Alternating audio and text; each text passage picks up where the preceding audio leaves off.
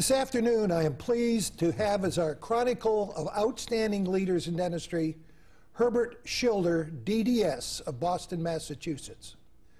Welcome, Herb. We're delighted that you've been able to take the time to come and discuss some of the things of your life in dentistry. As you know, this is a project sponsored by the United States of America section of the International College of Dentists and is housed in the National Museum of Dentistry in Baltimore. Let us get started, Herb, by saying to you, give me some early impressions of your life, your early days, your family, your mom and dad, and those influences as you recall as a kid. Well, the, the major influence on me, of course, were my folks, but the major characteristics of me were to identify very early the things that I wanted to do and things that I wanted to accomplish and things that I wanted to experience.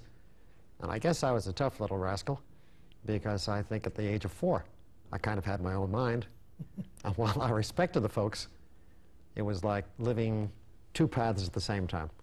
The one in the family and the other in the bigger outside world that I wanted to explore. Now, your, your father's profession or work was? My father drove a truck.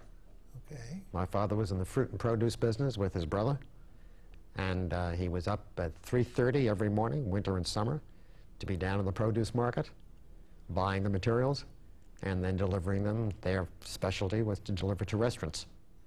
Lived a tough life. He was my size and must have weighed 50 pounds more and was all muscle. And your mom was a, a live-at-home mom? Live-at-home mom who looked after the children and wanted the best for the kids.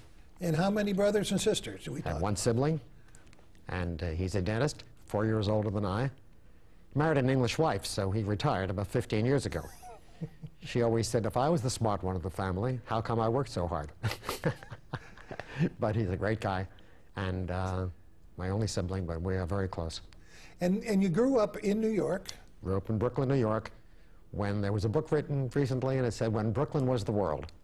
And in those days, we thought it was. And so you went to school. Your early days were in Brooklyn. Early days were in Brooklyn.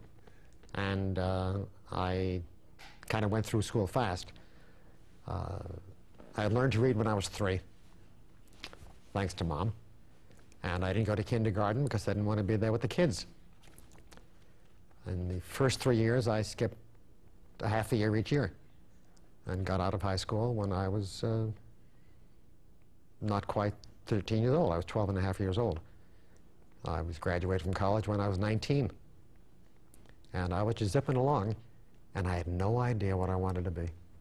Now, during those years, was there any individual that had real impact on motivating you, on getting you to achieve those quick grades and those uh, and that, that artistic thing of, of learning fast? Uh, and were there people that you recall that were had impact?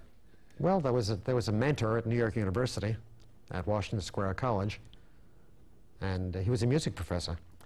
I had taken a course in music appreciation uh, just to fill out the baccalaureate requirements, and uh, he he changed my life really, from being a uh, bright, active student who was going to conquer the world to maybe somebody who still wanted to do that but had a softer edge. And I remember one time, well, this fellow was so, so knowing that uh, he suggested that I take a year of either Wagnerian opera or Beethoven symphony. As I said, I can't read music. He said, whatever you get in comparative anatomy, I'll give you that grade in this. So during those days then, uh, you, you had graduated from high school at 19 and you went to graduate from college. A college. Oh, I'm sorry. And that was a portion of New York University. Yes, that was the, the, liberal arts college of New, of York, New University. York, okay, and then you continued on to dental school. Not not immediately. Okay, tell I, us about that. I didn't plan to be a dentist. I think if it were possible, I would have spent a life as the director of extracurricular activities for a large university. I was having so much fun at school. But there I was, at 19 and out of school. I took one year and I took some graduate programs in enzyme chemistry and in botany at Brooklyn College, which was nearby. And I thought that was like going back to high school. And during that time, New York State developed scholarships for physicians and dentists. There were 36 for upstate New York and 14 for New York City. And uh, my brother said, why don't you take one of those exams? I said, why? He said, you might like to be a dentist. I love it. And I took the exam, and I received one of those 14 scholarships. And Dick, they paid the whole tuition, which in a private school then was $600 for the year, with $150 extra. And I thought, this is heaven. How could I not go to dental school? So that was the main reason that you went into dental school. That's the main reason I went to dental school. Your brother then really did have some impact on you by just sort of encouraging you to continue. Oh, surely, surely.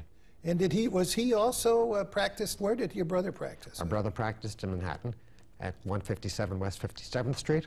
Had a very fine practice, but it's a huge building with 500 professional people. And I early on said, I am never going to practice in New York City. So he did teach you that. Now, think back to those days of dental school, Herb, and give me some impressions of, of your early days in dental school, how you felt about uh, uh, dentistry as a profession, as school as an institution, and, and where you fit into that. Uh, Well, as you can imagine, I was a very serious student at all times. Uh, not that I wasn't president of the class and president of this and president of everything else, but there was a serious side to me, S- a very serious side to me. And I revered education. I thought it was very important. I felt I never took a course that uh, I didn't learn something from, be it in, at the college or at the dental school. And uh, I just toed to the line and uh, found it was going easily. And uh, I discovered this was nice and comfortable for me, and I began to wonder what I would do as a full-time career. And that's where endodontics began to pop in. Uh, don't forget, it was not a recognized specialty in those days, and very few endodontists were, were specialists. Some of the biggest names, as we may talk about later, uh, were never specialists. They never limited their, their practices to endodontics. And I began questioning people in the endodontic department who were not endodontists, but general dentists interested in endodontics. And they told me, it's a nice thought, kid, but you can't make a living doing it. so dental school was a, a, a enjoyable time for you. Would you say that? Uh, oh, sure it was. And and and the associations you still In, in a physiology class, while we were putting to sleep some huge tortoise, somebody on the other side of that tortoise asked if I would like to go on a blind date that Saturday night. That's how I met Joan, and my wife. I think that's a wonderful story, and that's something that uh, I did not know. Okay, so once you went through the dental school uh, environment, you had a sequence of Pennsylvania and Tufts and the Beth Israel Hospital, and uh, run through those years of the sequence of what you did immediately following dental school. Okay. And that would be First of all, I, I want to go back to Martin Bernstein because that music professor did soften the rough edges on me. Uh, he, he humanized me in a sense that he made me think differently.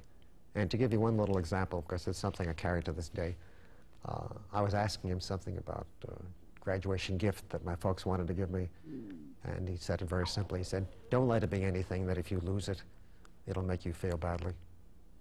In other words, don't value things so much as ideas and people. And that had a great influence on me. But if we're talking now about subsequent to that, uh, mentors really came in big time, uh, and two of them particularly.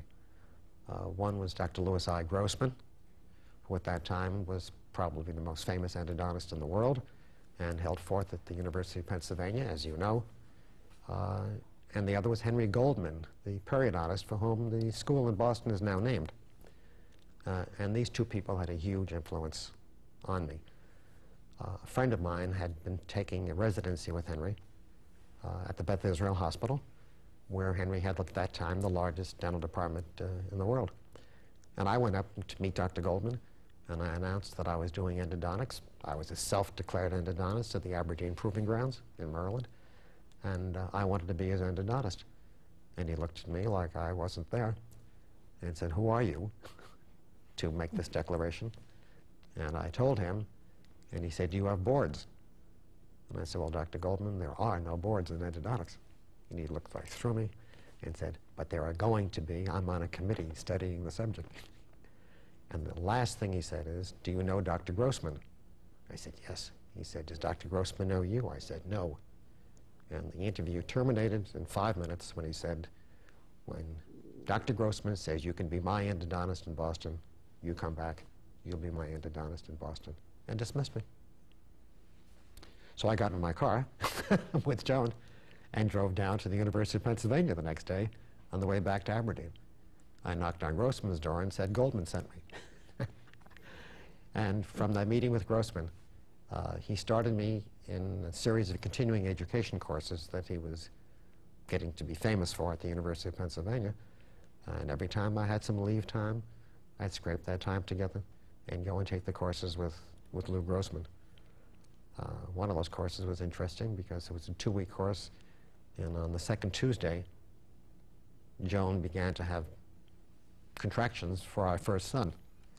And I was very nice. I stayed with her that day, but at 7 o'clock the next morning, I was back in Philadelphia with that course with Lou. And uh, Lou became my mentor in a sense, and continued that way. And to this, to the day he died, Joan was very friendly with Emma, and uh, we were closely bound together. But there was Henry still out there in Boston, and uh, when I finished with the Army, they arranged a teaching research fellowship for me at Temple University, uh, which I took for a year, while I was waiting for Henry to call me to Boston. When would I be all right? And I recall one time Henry came down, it was about a year later, and we were walking through that cavernous clinic, as you may remember, at the University of Pennsylvania. And I said, I think he forgot me. And just as suddenly as he dismissed me a year earlier, he took me into a classroom, drew the outline of a building. He said, this is Beacon Street, and this is Bay State Road, and you'll be practicing here. I said, excuse me? He said, you'll be practicing here. And I said, what if I don't like it? He said, you're going to like it. the upshot of this was I went, went to that building. I rented the space they suggested. But before that, he had dentists waiting with patients for me. I could see them in his office. No rent, nothing of the sort. He wouldn't accept anything except the fact that I would be there. And he projected me into something I wasn't. Maybe would be something I'd want to be when I grew up. But he projected me in a way, not only with the dental community, but with the patients. The creme de la creme. Bay State Road then was like Harley Street in London. And I was the youngest person in the building by at least 25 years, the only one without a Harvard degree. But uh, suddenly I was a member of this community, and uh, that's really uh, the pre my, being projected at a very early age, mid-20s, uh, into a career that people had really put into my hands. It was for me to carry it or to drop it. Uh, but I guess I worked hard and, and, carried it. So then Dr. Goldman called you. he had me there, right? And he had you in Boston already. And through that sequence, when you joined him, I know that there were many positions that you assumed uh, with him. Um, sequence those for us so we get the picture of you started in continuing education and, and through that right. program. Let me, let me review the history yeah, of the school. That'd be great. Because it's a strange history for a school. Uh, at that time, it was the first dental school since, I guess, the war that was established. And it wasn't established as a normal dental school. What year are we talking about, Herb? We got talking, I, I arrived in Boston in 1956. Okay. And uh, Henry was collecting a faculty of practitioners who would give about a day a week at the Beth Israel Hospital. And he was giving CE courses in a variety of subjects. And he wanted them all covered well. We had no idea why he was collecting us there. So in 1956, I had the teaching bug, and I was teaching on Friday afternoons at Tufts without salary. I just take my front surface mirror and uh, go down to Tufts and look in a few cases and uh, began my teaching career there. I did that for three years. Now, in 1959, Henry, who was a tremendous fundraiser and taught me some skills about that, which have served me very well in my career, uh, Henry was a great fundraiser. He had talked to people at Boston University into establishing a department of stomatology, mouth medicine, uh, in the Department of General Surgery at the medical center at Boston University. And um, we went down there in dilapidated quarters, dilapidated, the basement of a pre-Civil War building. And uh, Henry started the school in, in there. Two old, dumpy brownstones. We would give lectures, it would be like a Dickens story with snow coming in through broken window panes. And we started a school that had eight recognized specialties of dentistry, all eight of them, including public health, uh, started it without a dental school. We didn't know that Henry was planning the dental school soon. Uh, and there we functioned. Uh, I had a board-certified program in endodontics before the specialty of endodontics was approved. Uh, and all the others were certified as well. So we're going back to 1959 when we went over to BU. And in 1962, we talked the university into giving him a piece of ground. In 1963, we started the Goldman School of, no, Henry's name was attached to it later. Uh, at that time, it was not the Goldman School. He wouldn't have put up with, with such a, a titling of it. But he started the Boston University School of Graduate Dentistry, a dental school without pre-doctoral students. We continued with that for about 10 years, and then the current dean, Spencer Frankl, became the associate dean, and they began a pre-doctoral program as well. But for years, we still carried, Dick, we carried the name of the Boston University School, gr Graduate School of Dental Medicine, even after we had the pre-doctoral program. And it was kind of a tough thing for the faculty to finally give up that name of the Boston University School of Graduate Dentistry, because it meant so much to us. And by that time, it meant a lot to the world, because Henry sent us out all over the world. He sent us out, as you know, I've lectured on every continent in the world, not all those invitations through Henry, but he trained us to take this material and take it out to the, to the corners of the world uh, and to proselytize for good dentistry. It, it, was an exciting time, really an exciting time. Tell me about some of those overseas visits where you take Joan and, and you go and, and, and you, the, the best way of teaching, show them. Show it to them. Yeah, tell uh, me about some of those uh, visits that uh, well, early on, in your in, mind. In, in, in 1962, and I was 23 years old, I guess.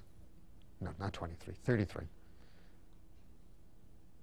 I went to uh, Torino and a former student of ours from the perio department, who was now a professor there, uh, arranged for me to give some lectures with demonstrations. Well, they accepted anything. Mean, they were so unsophisticated, it was extraordinary. Uh, but I did a, a non-surgical case, and I did a surgical case uh, without TV. TV came later. People would just form a big circle and walk around me. They were so unsophisticated, I really couldn't believe it. Uh, but what they saw, they were so impressed with that they started coming to BU for the continuing education courses, and uh, soon the invitations increased. Well, over the years, I found, Dick, that this method of demonstrating what you're talking about and making it happen in front of them is the most convincing thing that you can possibly do uh, because they think you're a damn fool to come if it wasn't going to work. And as I indicated to you, I know previously, in some of our conversations in the past, um, I would take a dental assistant, wouldn't dream of doing it without my own dental assistant. And sometimes it would take the husband and their children and whatever. And the honorarium had to include transportation for them, as well as for Joan and me, and then our kids. And there were many, many places who wanted, it, wanted this to happen. And do the live demo right in front of them. We filled, we can talk about endodontics later with root canal systems and lateral canals. We have filled huge screens, 30-foot screens, uh, with lateral canals on patients live in the other room while the people in the amphitheater are seeing that work. It was, it was a lot of fun, and it was kind of makes you feel feel strong that you've gotten your ideas across if you can produce it right in front of their very eyes.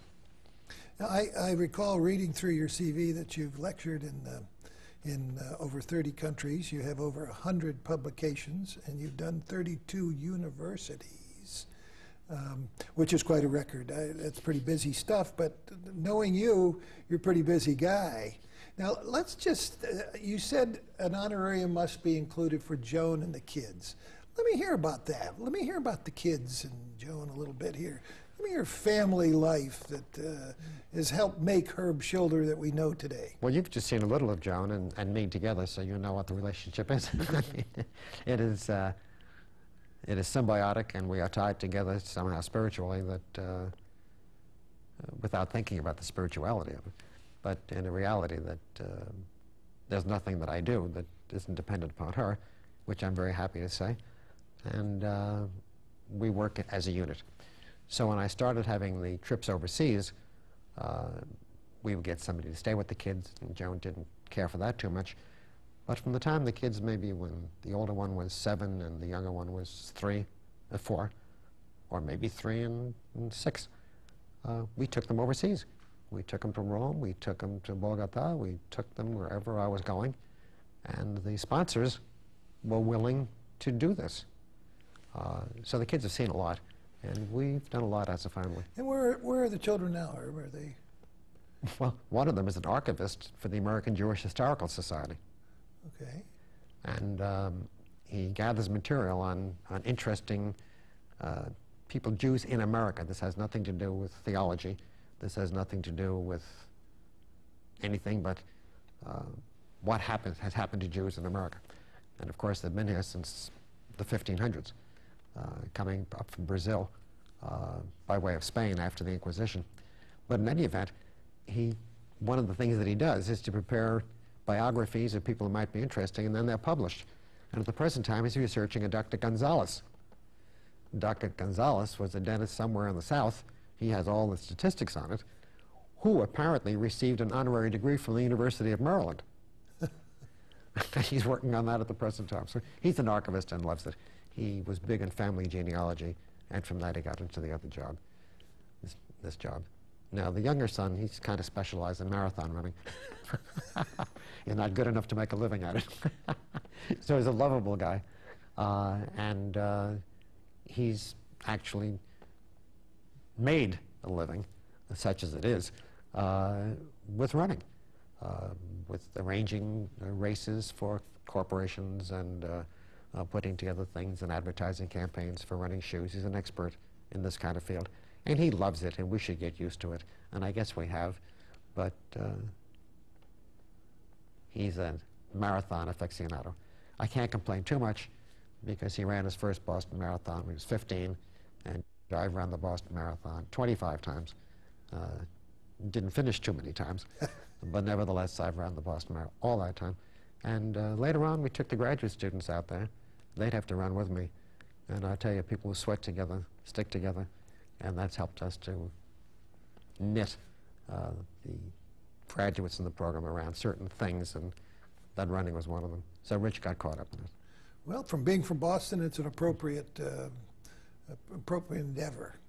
Let, us then go back just a little bit here to uh, your time at, uh, as a professor. Um, and knowing many of your students, um, knowing that you have educated a, a good majority, well, I, I, don't know if that's true or not, but many, many of the uh, specialists in endodontics throughout this country, you are responsible for helping train or training. Give me some ideas of that program, how that got going to be such a massive, important program that's had impact on all of us throughout the, uh, the world and especially in the United States. Well, the, the number is actually 363 current graduates, which are 10% of every endodontist in the United States, and a very good smattering in other continents as well. Um, it's very interesting that our first student was Cyril Gom, who, as you know, has been very active in the International College of Dentists. Uh, Cyril, uh, I guess Cyril's responsible for getting, for igniting us. Cyril was introduced to me by a dentist uh, who must have treated some patients that Cyril had referred from Nova Scotia to Boston. And then the dentist said Cyril might want to come down and see me and uh, see what could happen. And Cyril became my first graduate student. Now, in those days, we didn't have much of a faculty, so Cyril's course was basically being in my office a great deal. We started Cyril in 1959, He was graduated in 1960, and I remember at graduation I made some comment that Mrs. Goldman thought was cute. I said, uh, this has got to be some kind of educational experience. It's the only school we know where you have a one-to-one student-faculty relationship. But Cyril was our first student. And then the next year we had two, and then the thing grew and grew uh, and grew. So you have an, I, my understanding is you have sort of an alumni group. Um, what's happening in that? We have a mafiosa mondiale. we, have a, a worldwide uh, uh, mafiosa, but of course my Italian friends refer to mafia as simply a friend helps a friend. So that's what we do. And it's a Cosa Nostra, which only means our thing, because our thing is endodontics. But we've got them all over. We, we have a directory of our students uh, with their families, their wives' names, and the children's names, and the office phone numbers, and the home phone numbers, and the fax machines, which we're using all the time uh, to keep in touch. We have our own publication that comes out, scientific publication, that comes out three times a year. Uh, we have uh, competing annual meetings. Our real annual meeting takes place in the, in the fall, but last week we had uh, a winter meeting uh, out in Vail, uh, and then we have other meetings as well. Uh, this is a very, very tightly bound group of people who are bound in what they perceive, at least, to be quality endodontics, which they believe in. They believe it's true. And um, they go out and they have study clubs, which are not our graduate students. And they multiply and multiply and they go out and they just want to teach this. They're excited.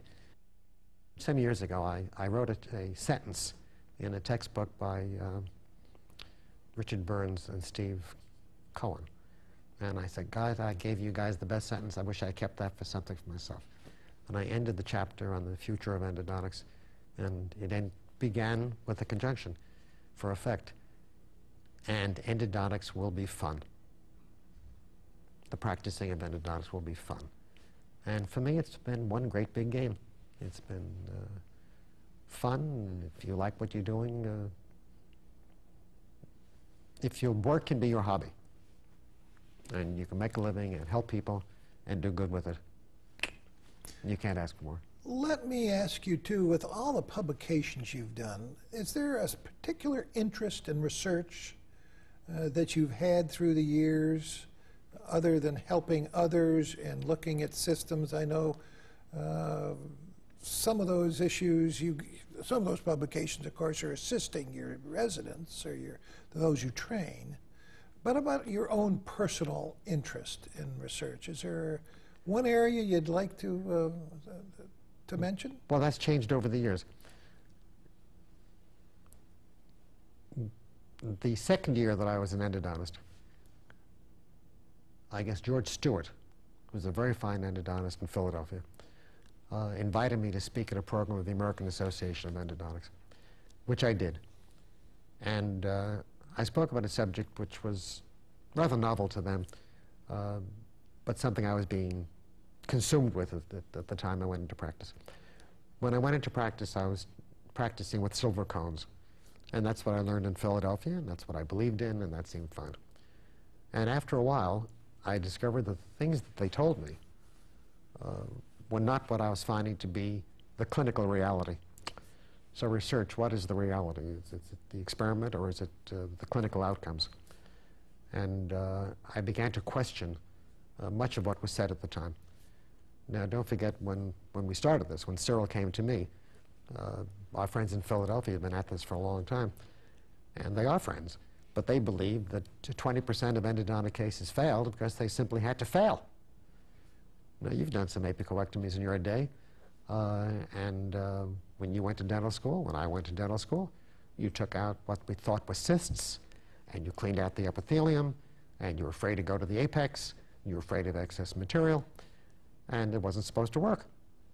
And I discovered that all these things were working and that the, what I have coined the lesion of endodontic origin instead of periapical granulomas or periapical cysts because they're not, they're not all at the apex. They can be mid-root, they can be at the cervical part. Uh, are the results of toxins leaking out of root canal systems. So now we're talking about root canal systems instead of a root canal And don't think every endodontist in the world was happy to be reminded these are root canal systems. Now, they knew that, but they would avoid it. Dick, you're not an endodontist, but do you realize that about 85% of upper first molars have two canals in the mesiobuccal root? No. They didn't tell me about that, but of course we have it. And our graduate students now are working with uh, surgical microscopes. Every one of our graduate students has a surgical microscope that they can pull down as they work. And this is going to be common in dentistry. We didn't start this. This is going to be common. So early on, way back then, I was telling them about root canal systems and showing them lesions that they thought were miracles, that I thought was routine, that were working. So the early part of the research uh, was doing statistical evaluations uh, to demonstrate to them the healing capacities. And some of our closest friends and endodontists who you respect enormously, and I do as well, um, they couldn't believe this, and they would argue. Uh, there's the Dr. I.B. Bender, and I know you know him, and I think it was his 80th birthday after he spoke in Boston. And he went back, he has Parkinson's, but it doesn't seem to affect his writing. It, it, shakes, but it goes across the line beautifully. And he had a little note and said, Herb, he said, now that I'm growing up, and I hope that you're beginning to grow up, can we be friends? Mm. He said, I think I agreed with you all the time, but it was so much fun arguing with you. So the early research was just convincing people uh, of what was going on in a clinical way. A Dr. Massler, Maury Massler, was a very famous person in dentistry. You may know him. Uh, he indicated to me once, he said, gee, you should have been a scientist. And I said, Maury, I am a scientist. I'm a clinical scientist. So we started out with clinical activities. As times went along and we knew the lesions healed, uh, I became more interested in materials. So we got involved in things we might talk about later or whenever you like the vertical compaction of warm gutta-percha technique, where we warm the gutta-percha and instead of pressing it in laterally, which most people were doing then, press it vertically, uh, like taking pizza dough and filling a form, shepherding the material in, and watching the lateral canals get filled and be gratified by it. Uh, so we began to talk about warm gutta-percha, and these were things, none of which I woke up one day and said, gee, I've got a great idea, I think I'll do this. Uh, they just evolved. So there was the evolution of this, and then for maybe 20 years, the running contestation between my good friends who knew damn well that it worked, but weren't prepared to give up what they were doing, and for me to find words that would bring them in and not frighten them away. Uh, I believe that the healing potential for every lesion of endodontic origin is 100%. So when I would say that, the audiences would feel, gee whiz, now, do I have to go out and get that? They didn't like that. Uh, it put a burden on them. Well, the potential is 100%, but that means you have to do certain things. And in this clinical research, we found out you have to clean out the root canal systems. So the bugs in the bone amount to nothing uh, if you clean out the bugs in the root canal systems. So then we had to devise different ways how to clean and shape root canals. It used to be instrumentation. Now it's cleaning and shaping. And I've been thrilled to see these words accepted around the world, but I had to change from threatening the audiences, which I never meant to do, by saying, you're going to go home and they're all going to work this way. No, if you do what you're supposed to do, they're all going to work that way. The capacity to heal is 100%. But the mechanics and the complications of these root canal systems don't necessarily allow you to get that. But the harder you try, the more conscientious you are, the closer you're going to come to the 100% healing. Let's, let's take a break, Herb, for a few minutes. Uh, we've gone a long time, and let's just take a little rest. Fine.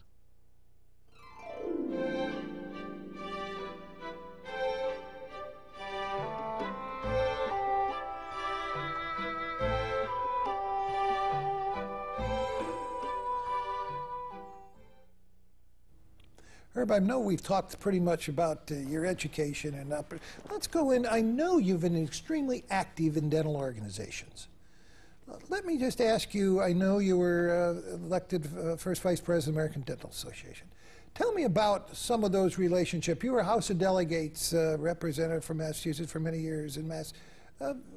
Tell me a little bit about the, your activity in, in all these organizations that have had impact on dentistry. Well, I, a little while ago, I indicated to you that uh, this is sort of a game. And uh, just about everything I do, I take as sort of a, a game, an entertaining activity uh, of serious import, perhaps. Um, but it, it takes me away from the practice and takes me away from other things and gets me involved in what basically are the fundamental things that make things work. Uh, somebody comes up with a scientific invention, that doesn't necessarily mean it's going to succeed. You have to convince people. The social scene must be ready to receive it. Otherwise, they're not going to want to receive it. So I've always been very people-oriented uh, and enjoy doing these things. Now, I indicated to you before that when I got out of college at 19 and didn't have a clue as to what I wanted to do, I thought I might like to. Maybe, maybe I'm fantasizing now what, what it was like, but I really think I would have preferred to keep doing that for the next 20 years, being president of the class and whatever, uh, and just do all these multiple activities. So I've been into things for a long time. I, I like to size up the social issues uh, because that's where I think progress takes place. Uh, I have friends who are major businessmen, and what's your greatest talent? Well, the balance sheets. No, it isn't. You're a good psychologist. You can't do business unless you know the people you're doing business with, from the banker to the person who's buying your, the tie in, in a store. So I'm very much interested in these processes and how you can affect people's behavior by affecting change in them in terms of how they see the things that are really important in their lives anyway, and not the things that are stewing them up that have very little relevance. So from a very early time, um, I got involved in these things. Now, Dick, remember when I went to college, I was too young to be in the Second World War. I was a, a junior air raid warden. but when I got to school, people had come back from the GI Bill of Rights capacity to go to school. They, they had this, this thing. So the average person in my class was five years older than I was in college, and I was president of the class. So you may say, well, how did that all affect you? And it didn't affect me at all. I was just doing my thing, and they were doing theirs, and we felt very comfortable with each other. So I was always into this kind of activity, going back to the sixth grade. Uh, it just was part of my being, becoming interested in this kind of thing. Now, with that, it was perfectly natural that when I started in dentistry, uh, I would attend district dental meetings and see what was going on. And uh, quickly I found out that you could participate in things. And suddenly I found I was being elected to various positions. Then I had to develop a technique of getting out from behind the podium and getting in front of it and say, I'm the same guy you knew yesterday before I had this job. And if I could be doing this, you can be doing this, and we can be doing it together to keep the contact. And that kind of worked. Uh, I found issues. Uh, I don't think I invented the issues. I think there were many issues in dentistry at that time uh, that needed people to articulate them and, and to speak for them. And I found out I was the person who was doing this. And, and, people were liking to elect me to places, and there again it was to keep contact with them, because if they say, you go out there and take care of it, we'll watch you, that's no good. We have to do this all together. So I would apply that with almost everything that occurred in life, from social organizations, religious institutions, you name it. Uh, I was out there somehow doing this. Massachusetts Dental Association, for example, for many years, Dental Society, Massachusetts Dental Society, used to elect a delegate for one year. It was like taking a trip to, a, to some far-off place. And when they first nominated me, I said, guys, I don't want to go because I'm on the program speaking anyway. Most of these times I'd be speaking on the scientific program running out of the house and getting slides and going back. I was doing all of this stuff.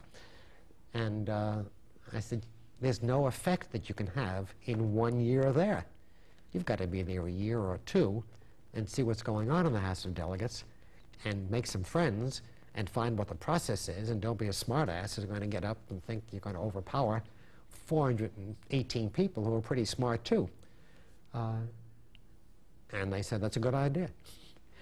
So I was the first delegate, I guess, who, who had continuity and could get to know the people and know the system, and that seemed to work, uh, work very, very well.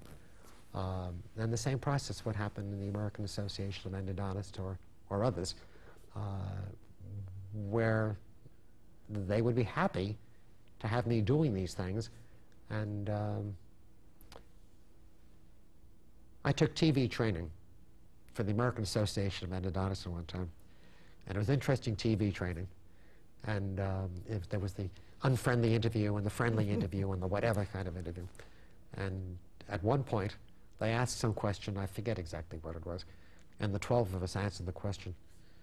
And at the end of it, uh, I guess they, she thought I had done the best job. I said, now why did you say that? And she said, you're the most credible. So I don't know what it is, but the sense of credibility. And during most of my political activities, it's been on credibility and on uh, trying to uh, do the right thing, if you will. Uh, if we want to be very introspective, I, I think I've been Mr. Clean in all these things. Reliable, Mr. Clean, uh, no deals, everything on the surface, nothing hidden, and it's fun. if, if, people want you to do this and you're doing it, it's fun. So we applied that uh, just accidentally to whatever there was, and pretty soon uh, I became active in these various things and, and, worked with the issues. The ADA is very interesting, and uh, with no disrespect, because everybody in the House knew what my issues were in the last days. In the last days, uh, my issues were changing the continuity of the president of the ADA, which presently now is president-elect and then president and out. and instead of putting people on a pinnacle, they take them to a precipice and put the foot in their back at the end of that last session, and you are gone. no immediate past presidents, new people in, king for a day, for a year. And while we've had people of substance in those roles, real substance, there's no chance to come to grips with the issues because there's no continuity.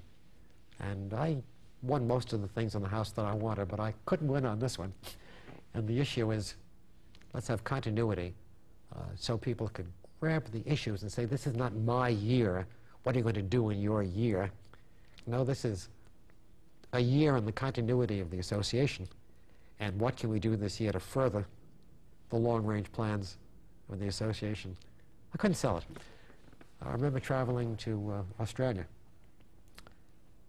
South Africa, with a very dear friend of mine and a very fine president of the ADA uh, in his day. And he said, Herb, you'd be terrific. You have one problem. I said, what is that? He said, you're too serious about the issues. well, we're delighted that you are taking on those issues, and it's too bad that more people don't uh, have the credibility that you've had through the years because that's very important in our profession, which is the best in the world at this point. Now, let me ask you also. Um, I know you've been ser you've served on the American board of endodontics. Yes, I have. And uh, is there anything that you'd like to? Uh, I'm not very familiar with boards because I'm a general dentist, but uh, how does that function, and and and when did it start? Well, endodontics was the last specialty, I guess, until. Did we accept radiology at the last House of Delegates meeting? I don't think so. Not yet. Well, not yet. Not yet. So we, we are the last specialty to, to be recognized by the ADA. Uh, organized, probably incorporated in Illinois in about 1959, but uh, had to understand this with the ADA. They were not going to give examinations until the House of Delegates accepted endodontics as a specialty. Now, to go back into those days, Dick, when I, when I went into endodontics, there were, I think, 50 endodontists in the United States. And the big names that we know and the leaders and the teachers were not full-time endodontists. Lou Grossman never limited his practice to endodontics. Mm. Ralph Sommer at the University of Michigan, who was a pillar of endodontics, never limited his practice to endodontics. Darrell Ostrander, who was a great endodontist and president of the ADA as well, never limited his practice to endodontics. They were doing general dentistry to make a living. because people couldn't make a living doing endodontics. So there were about 50 people who had limited themselves, and some of them were well known and some of them were not. But that's all there were at that time. I'm embarrassed to say that I was a full professor at Boston University before Lou Grossman was a full professor at the University of Pennsylvania because that's how little they valued this prize person who literally uh, was the shining light of endodontics in, in his generation and the generation to follow. So in 1965, the House of Delegates of the ADA finally approved endodontics as a specialty. And that's the first time we gave board examinations, and uh, technically, it measures from that. But uh, we've talked about other endodontists and friends of, of yours uh, who limited their practices after I limited to mine, and they're 15 years older than I, and some didn't limit at all. So the growth has been meteoric. Once it became organized as a specialty, um, the schools began to develop really good programs, uh, increasing in quality all the time and continuing to increase in quality now. And um, we are not the smallest by any means. We're about mid-size in terms of the number of people certified by the American Board of Endodontics. Maxillofacial surgery and orthodontics, which have been around much longer, have much larger groups. But nevertheless, we have the same requirements and the same types of examinations. And um, it's a thriving, thriving activity at the present time. And it was fun to be there in the relatively early stages. Now, talking of the early stages, where, where will endodontics be, in your opinion, in the year 2015 or 2020? Uh, you're the futurist. You can know how to think out of the box. Where are we going, Herb? Endodontics specifically, yes, dentistry in general, or which? all the above. All the above. Let's go to dentistry first. Dentistry's had a major change in terms of um, the material has to be learned, new technology, new dental students, uh, struggles of the cost of private dental education, even state schools are now charging fees, and some considerable. There are dental students who leave school literally $100,000, $150,000 in debt. Uh, lots of graduate programs have tuitions uh, of $30,000 a year. And the students are ending up with uh, certain financial issues they have to deal with as they get out managed care is with us, and managed care is not going to go away.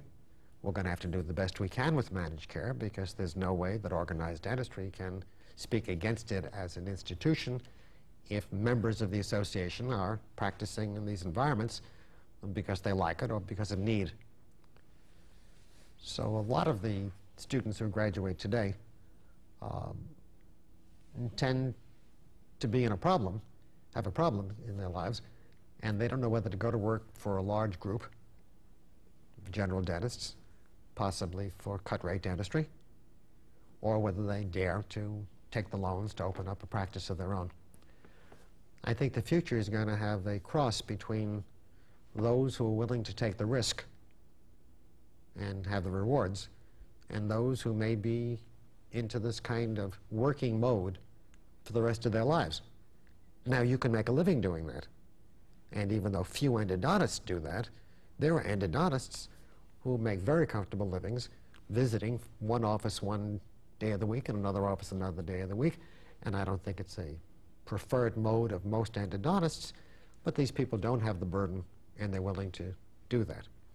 Now, that's the most optimistic way to view this issue.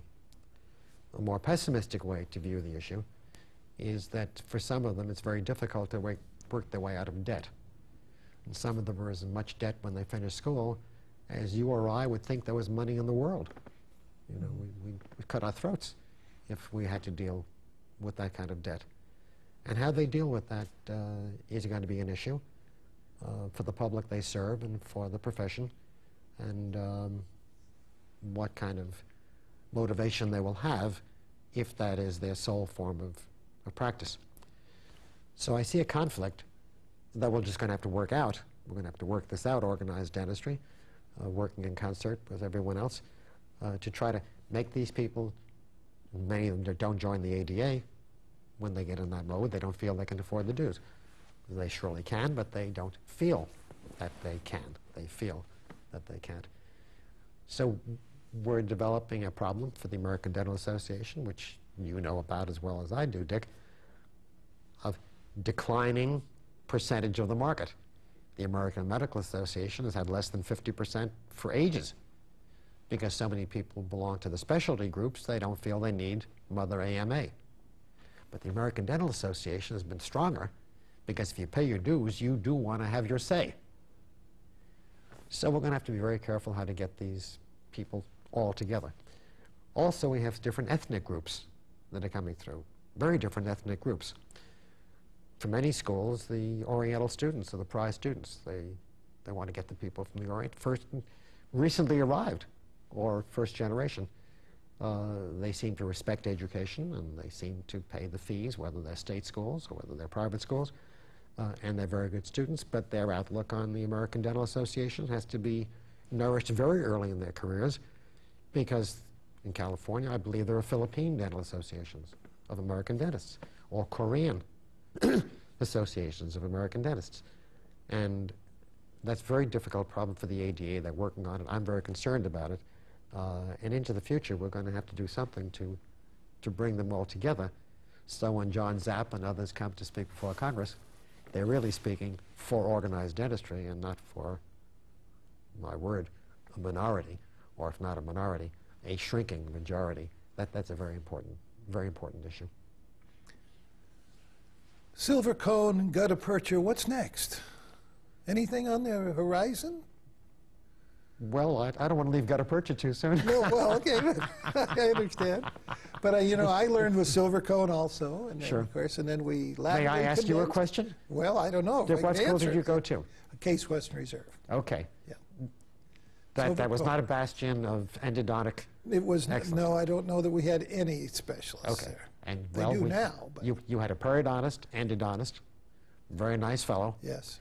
who tried to do something with each of them and was a very, very good teacher and a nice gentleman, Yes. but there's no way you can learn under those circumstances the details of endodontics as they exist today. So silver cones are basically gone. They're, they're basically gone. And for most part, it's gutta percha. And for most part, it's warm gutta percha. I'm apparently am the father of the vertical compaction of warm gutta percha technique.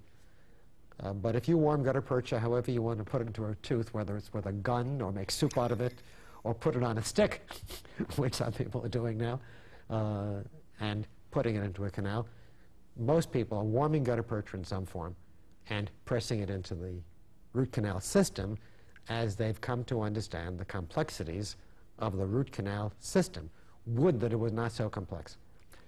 Endodontics is the kind of thing now where the less you know, the easier it is to do.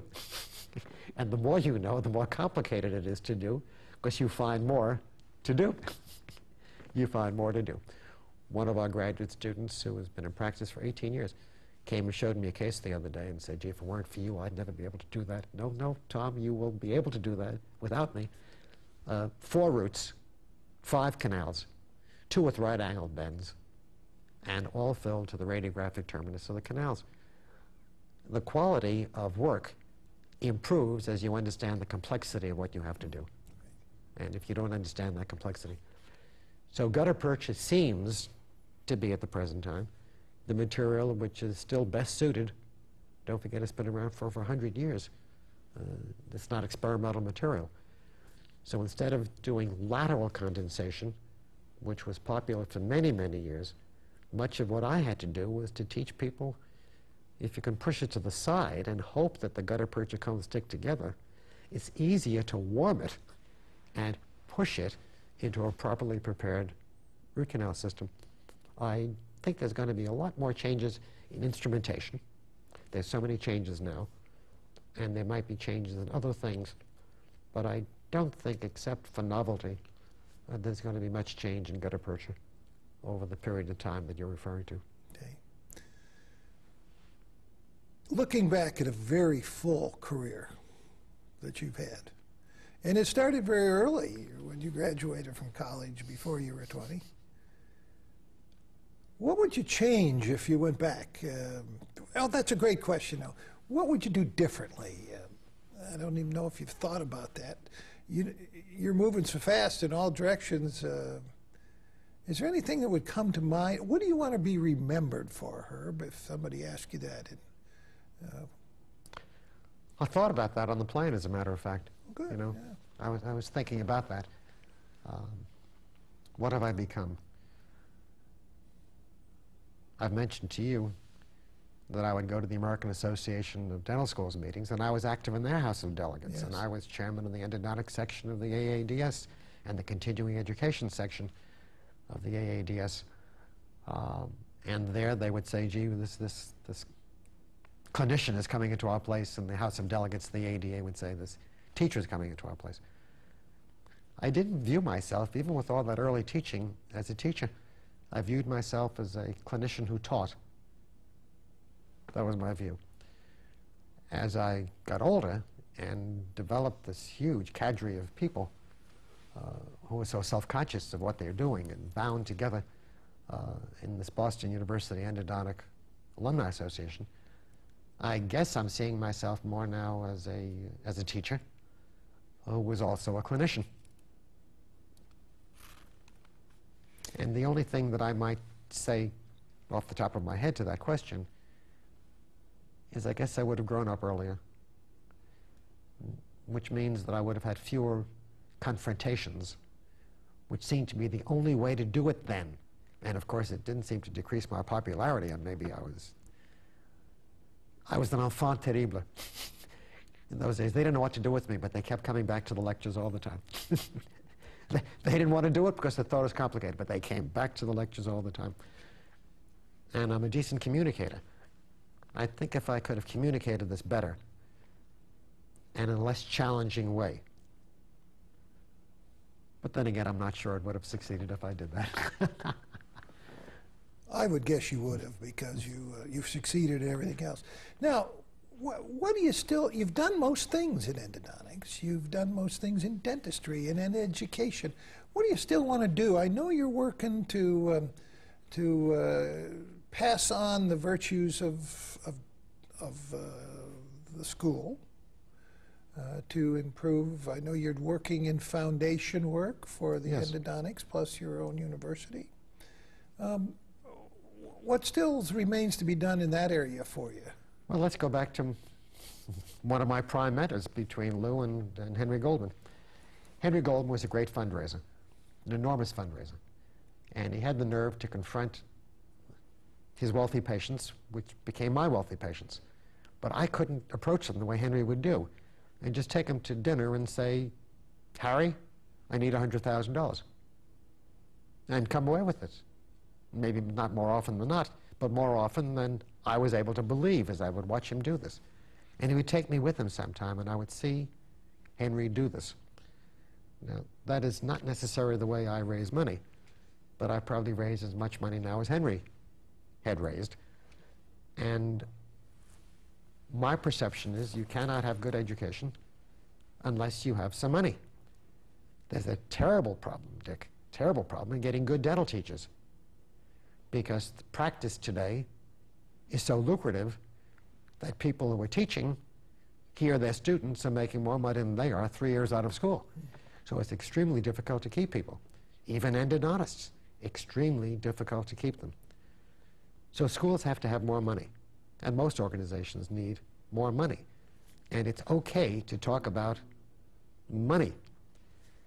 Now, years ago, years ago, when we had only three or four graduate students, I remember at a meeting of the American Association of Endodontists inviting them to breakfast, and we had eggs Benedict and bacon. Can you imagine me, look at me, eating eggs Benedict and bacon? My God. I play with my plate, and they thought the school was paying for that breakfast. Heck no, I was paying for the breakfast. I was investing in developing an alumni association. And we've done that. And in the case of the AAE, which we can talk about because we started a $5 million campaign over a period of five years, and we have now pledged for $10 million and $6 million in the till. But let's go back to the school. Uh, you can't do anything unless you have money. So without going through the step-by-step stages of it, we have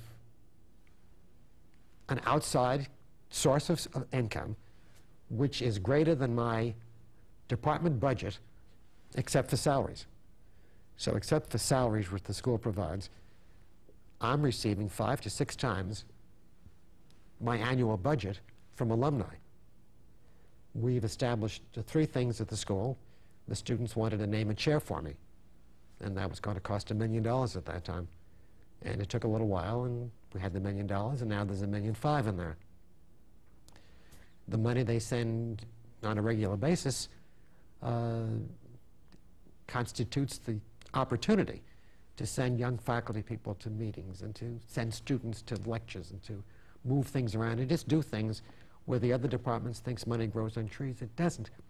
You treat your students right, and it comes back to you. And treat every student as a potential donor and every person as a family member. My phone rings six or seven times a day from an alumnus. And before I pick it up, Dick, the answer is going to be yes.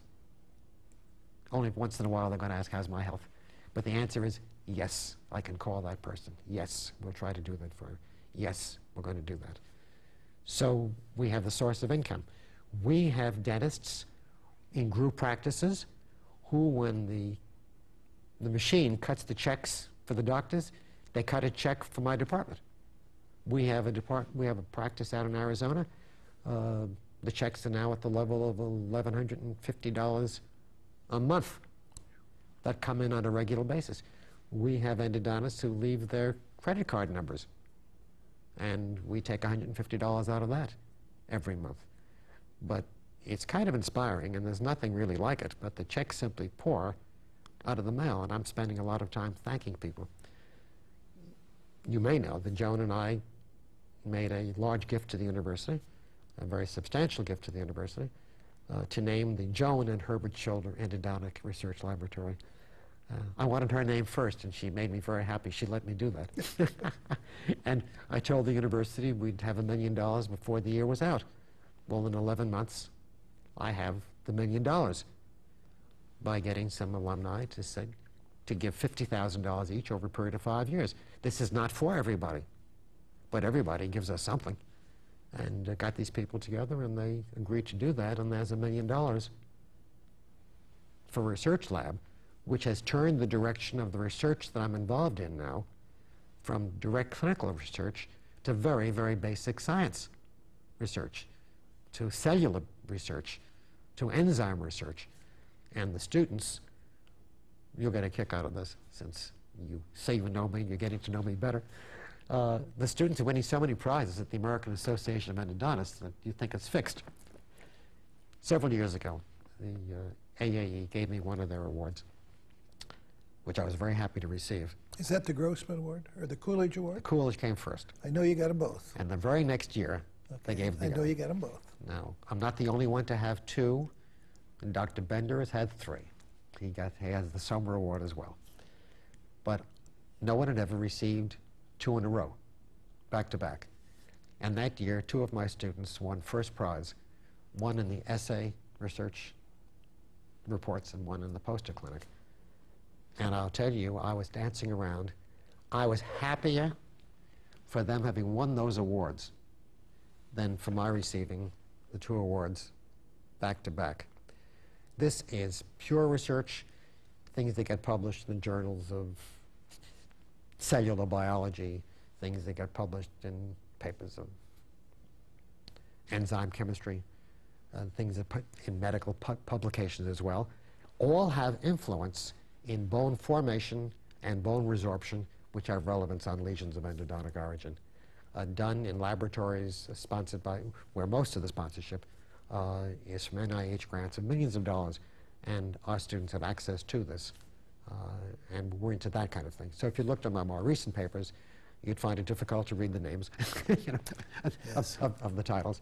Uh, and we've gotten into that, and I'm having a ball at this stage, you know, spending more time doing that. But I can't stress enough the importance of students being taught to express their gratitude by giving back in a very tangible way. And our students have been marvelous, marvelous with us. There's nothing like it in the dental school, and there's nothing like it in the medical center. But uh, it's not an accident. You make them feel good on being together. We have only two children. And neither of these guys seem as if they're going to be presenting us with grandchildren.